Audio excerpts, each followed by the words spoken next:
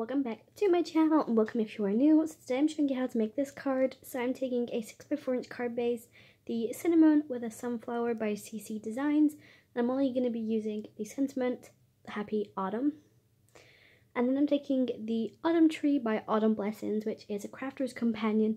And the best thing about this is everything is labeled with numbers and it also gives you four inks to use with it but obviously I wanted to use some distress oxides so I'm using mustard seed, vintage photo, ripe prisms or preserves or whatever it's called and crackling campfire.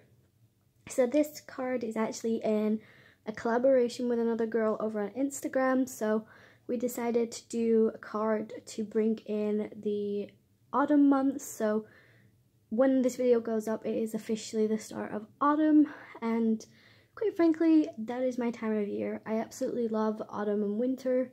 They're my favorite months. Like, everybody else is like probably really unhappy about it and wants summer and spring and stuff to be back.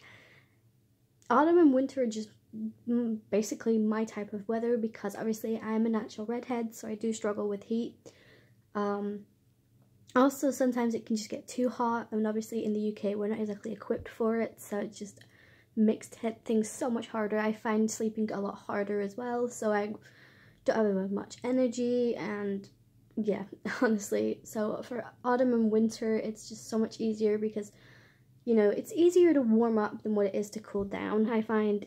So, anyways, so as you can see, I just did my tree. Um, the first one I did, I didn't actually line it up with anything, I just winged it. And the second one I kind of did, I did two pencil marks on where the corner of the stamps needed to be. As you can see, I have stamped out the images. So the images are actually from Fall Friends by My Favorite Things, and I've just masked them. Also, I keep getting questions about the tattoo on my arm. It isn't real, it is a temporary tattoo. You know, I got it um, because obviously you know, I've always wanted a tattoo, I just never really knew what I wanted, and this is a great way of me to figure out what I like and what works best for me, but I'm very undecisive, and quite frankly, I changed my mind, so yeah, I don't think I'm ever to get a tattoo, but as you can see, I've just worked out some markings using the Drift and Hill stencil, and I'm bringing in Peanut Brittle, which is a Memento ink, um, because I just wanted something a bit darker and to represent like the crusty leaves and you know like the dried out hillsides that you see. So yeah, I also did bring in another distress ink for the sky which was Tattered Rose. So I'm going to insert some music because once I've done this I just coloured up my images. Um, so yeah, I will talk to you guys closer to the end when I start to add final details.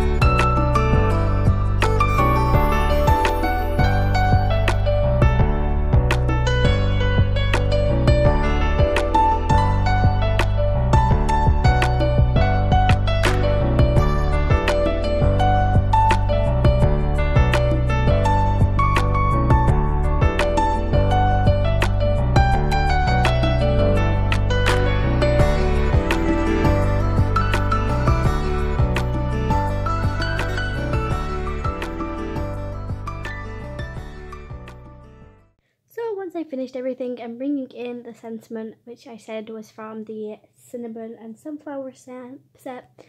Um, and I'm using Espresso. Oh, I think it's Espresso Truffle, I think. It will be linked in my description. Yeah, Espresso Truffle. But that is it for the video, guys. I did add some Latte pearls in from Pretty Pink Posh. And I also added Wink of Stella just to add some sparkle into the background.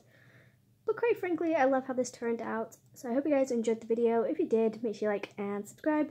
Follow me over on my social medias and check out the other girls' card. It will be linked over on my Instagram. So I will see you guys in my next video.